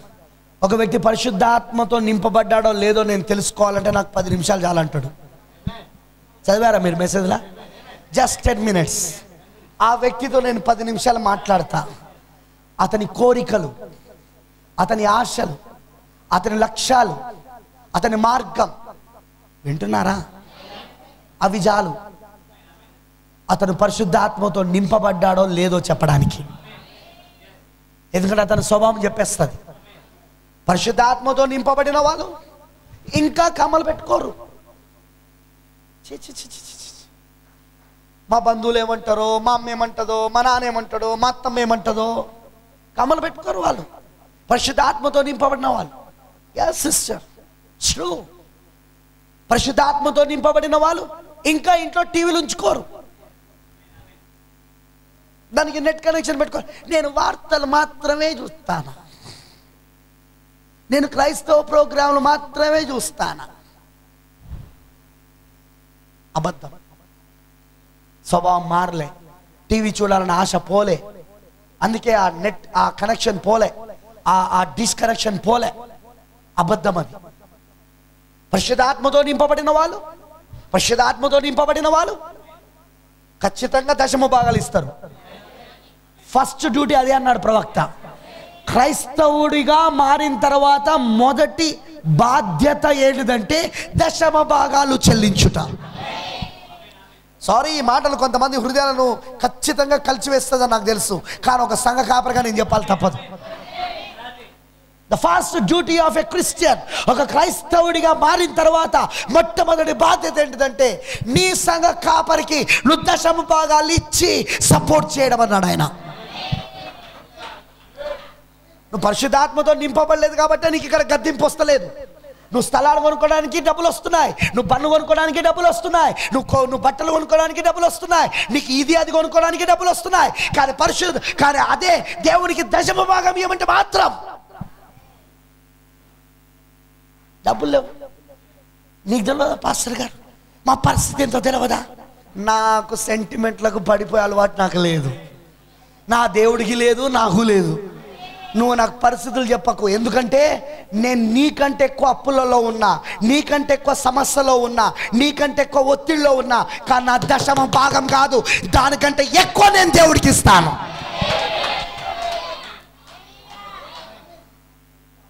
దానికంటే ఎక్కువ నేను దేవునికి ఇస్తున్నా. నాకు చెప్పకు. పశుధాత్మతో నిండుకొనిన వాళ్ళు ఖచ్చితంగా వాళ్ళు దశమ భాగాలు ఇస్తారు. ఎందుకంటే మారిన తర్వాత మొట్టమొదటి డ్యూటీ అది కనుక పరిశుద్ధాత్మతో నింపబడిన వాళ్ళు వాళ్ళ హెయిర్ స్టైల్ మారిపోతుంది. ప్రభాస్ హెయిర్ స్టైల్ రాదు. ఇక్కడ దాకా కళాలు పెంచి దీని ఏమంటారు పిల్లిగడ్డం. ఫ్రెంచ్. ఫ్రెంచ్ గడ్డం. ఫ్రెంచ్ గడ్డాలు పెట్టుకొని ఇక్కడ దాకా కళాలు పెంచుకొని జుట్టు వెనక పెంచుకొని నాకు టైం లేదు పాస్టర్ గారు. సావడానికి టైం ఉన్నది మర్చిపోకు. సచ్చిన తర్వాత ఏడుస్తావు అప్పుడు. యుల్ డాయ్ ఓ రోజు సస్తావు ఏడుస్తావు ఆ రోజున. కటింగ్ చేయించుకోకుండా పరలోకం పోను. పశ్చాత్మ వంశం పొందుకున్న వాళ్ళు వాళ్ళు ఎన్నడూ బ్యూటీ పార్లర్ పోరు. ఐబ్రోస్ కట్ చేయవా? ఈ ముందు జుట్టు కొంచెం ఎక్కువైంది కట్ చేయవా? వెనకాల జుట్టు కొంచెం కట్ చేయవా? అందరూ అందరూ ఆ దాని ఏమంటారంటే గుర్ర గుర్రం యొక్క తోకలాగున్నది అంటున్నారు. అందుకే కట్ చేయవా? ఈ కట్ చేస్తేనే ఫ్యాషన్గా ఉన్నది. హోలీ గోస్ట్ పరిశుద్ధాత్మతో నింపబడిన వాళ్ళు వాళ్ళు ఎన్నడూ కూడా ఆ పని చేయరు.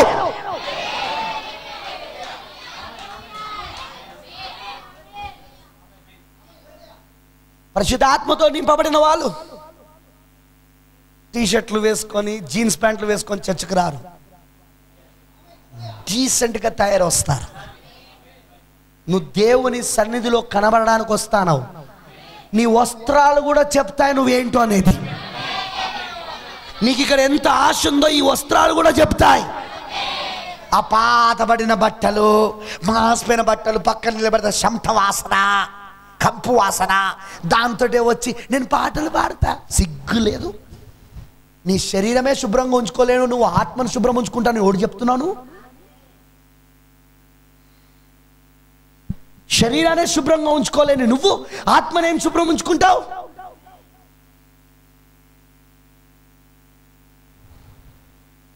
ఏసు ఉట్టిగా లేదు. మీరు ప్రార్థన చేయనప్పుడల్లా తలంటుకోండి. చెప్పాడా? తల స్నానం చేసి నూనె పెట్టుకొని. అన్నాడా లేదా అవన్నీ? చెప్పాడా లేదా? వాయ్ నువ్వు దేవుని సన్నికి వెళ్ళినప్పుడు కూడా నువ్వు చాలా ఫ్రెష్గా ఉండాలి అక్కడ.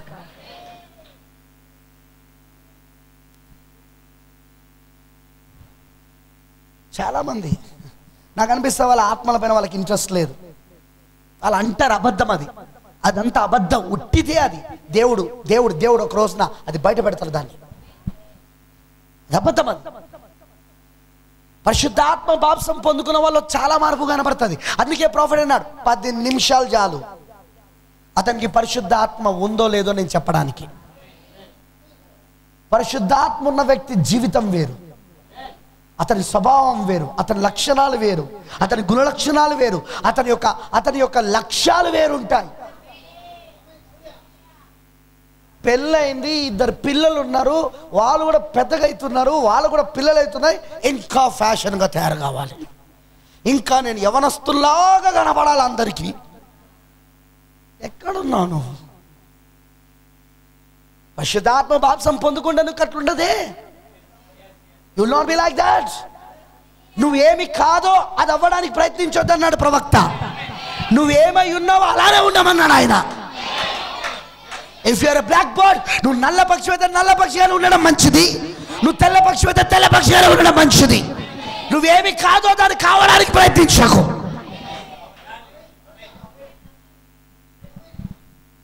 ఎస్ పరిశుద్ధాత్మ బాప్సం ఉన్న వాళ్ళు వాళ్ళు ఎన్నడూ ఇలాంటి పనులు చేయరు. ఎందుకంటే పరిశుద్ధాత్మ బాప్సం వచ్చేదే మనిషి స్వభావాన్ని మార్చడానికి దైవిక స్వభావంలోనికి తీసుకెళ్ళడానికి. దేవుని స్వభావంలోనికి తీసుకెళ్ళడానికే పరిశుద్ధాత్మ బాప్తిస్మం. నువ్వు కేకలేయడం మంచిదే నువ్వు అరవడం మంచిదే దేవుని స్తుతించడం మంచిదే కానీ నీ జీవితం దాన్ని తగినట్లు లేకపోతే అదంతా వ్యర్థమే. నువ్వెంత కేకలు వేస్తున్నావో నీ జీవితం కూడా అంతే ఉండాలి. కేకలు వేసినంత నీ జీవితం లేకపోతే అది వ్యర్థమే.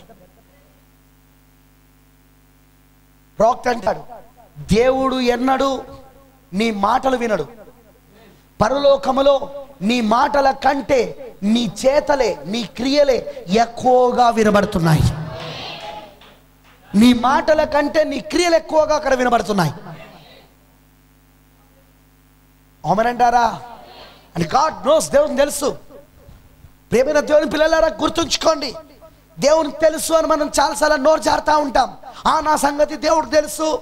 నోరు జారకు ఒకరోజు అదే మాట నీకు ఉరైతుంది అదే మాట నీకు ఉరైతుంది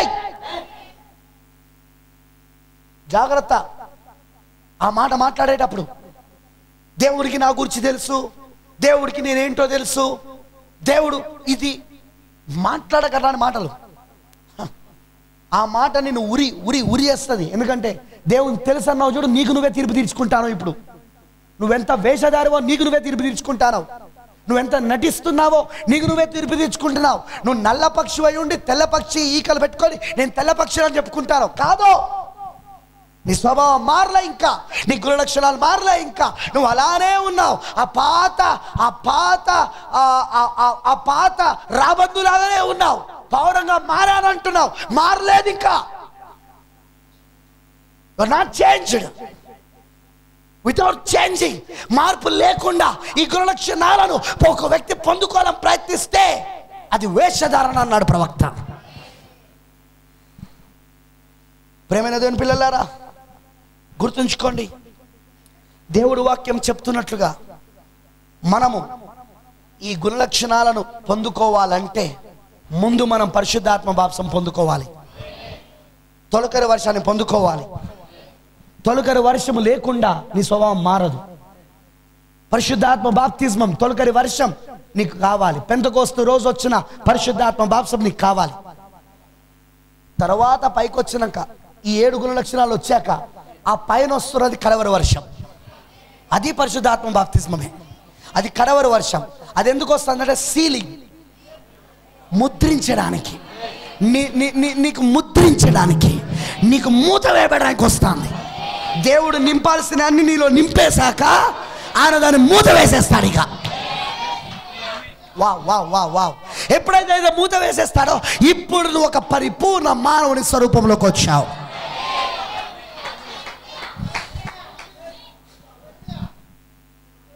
జాగ్రత్త వినండి ప్రేమైన దోని పిల్లలారా చాలా జాగ్రత్త వినండి. దేవుడు అసలు ఒక పరిపూర్ణ మానవ స్వరూపాన్ని ఎందుకు చేయాలనుకుంటున్నాడంటే అది ఆయన ఆలోచన అది. ప్రవక్త రెండు రిఫరెన్స్లు చూపించాడు ఈ మెసేజ్లో ఒకటి అపోస్తల కార్యం. చూడండి ఒకసారి. అందరు చూడండి అపోస్తకం ఏడో అధ్యాయం. స్టెఫెన్ మాట్లాడుతున్నాడు అక్కడ. స్టీఫెన్. బైబిల్లో స్టెఫెన్ మాట్లాడుతున్నాడు. కొత్త నిబంధనలో సంఘ పెద్ద. మొట్టమొదటి సంఘ పెద్ద. మొదటి ఆది సంఘములో పెద్దయిన ఏడో అధ్యాయం నలభై నాలుగో వచ్చిన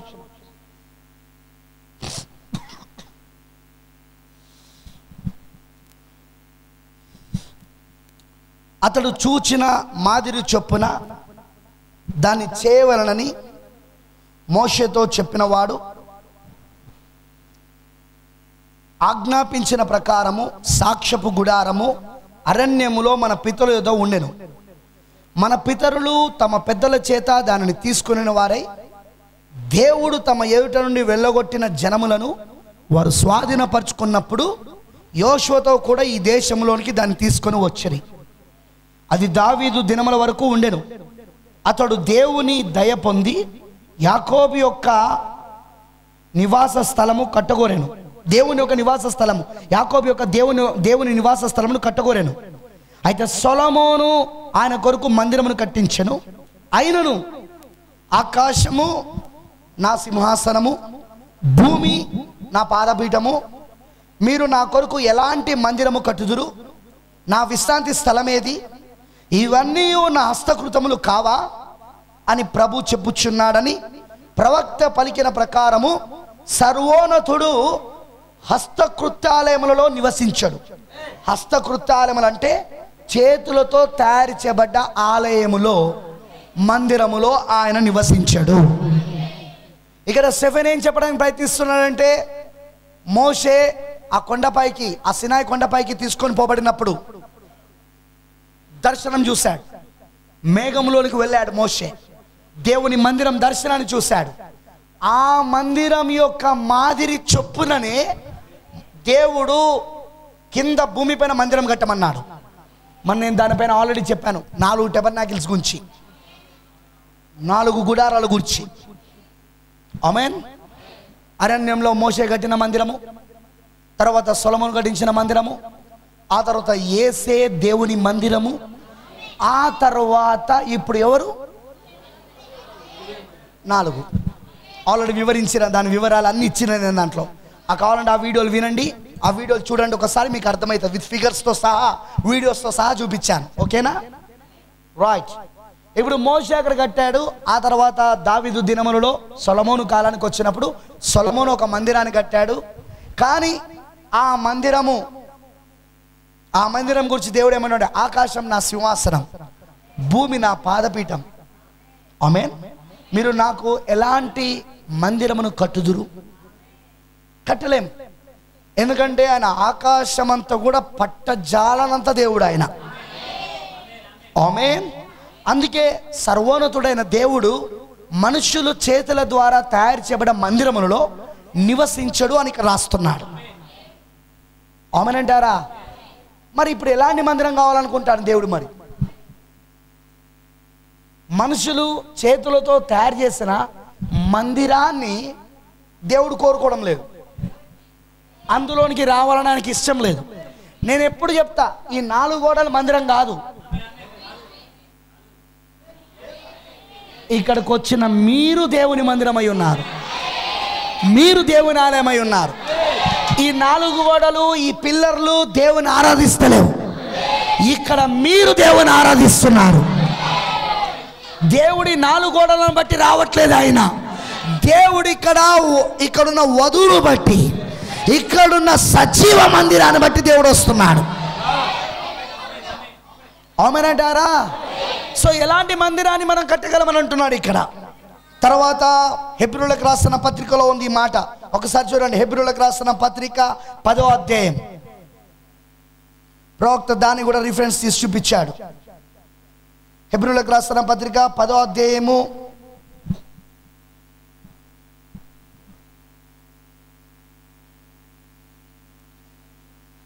ఐదో వచ్చినాం హెబ్రిలకు రాసిన పత్రిక పదవతం ఐదో వచ్చినాం కాబట్టి ఆయన ఈ లోకమందు ప్రవేశించినప్పుడు ఇలాగు చెప్పుచున్నాడు. బలియు అర్పణయు నువ్వు కోరలేదు కానీ నాకొక శరీరమును అమర్చితివి. Thou has prepared a body for me నాకొక శరీరమును సిద్ధపరిచితివి. బలులను అర్పణలను కోరడం లేదు ఆయన. కానీ ఆయన నివసించ